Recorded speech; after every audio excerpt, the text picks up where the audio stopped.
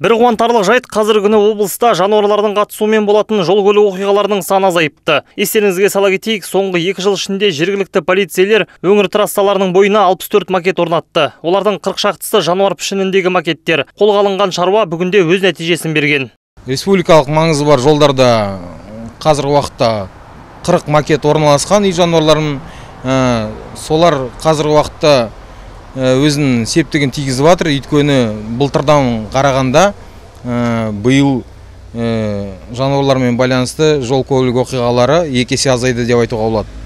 Өйткені былтырғы есеп көрсеткішпен қарағанда 12 ә, жол көлік оқиғасы тіркелсе биыл 5 көлік оқиғасы тіркелген.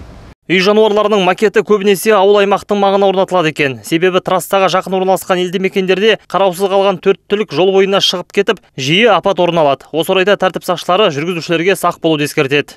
Темір тұлпар тізгіндеген жүргізушілердің бәріне айтар кеңесім ол барлығына жауапты жүргізуші өзіне және өзінің жақындарына.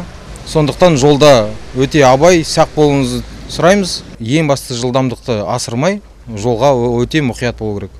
Ауылдағы ағайынның құлағына да алтыннан сырға. Төрт түлігін қараусыз жіберген жандар әкімшілік жауапкершілікке тартылып тоғыз мың теңге көлемінде айыппұл арқалайды дейді полицейлер. Бердімұрат баймұқан қазбек арықбаев мтрк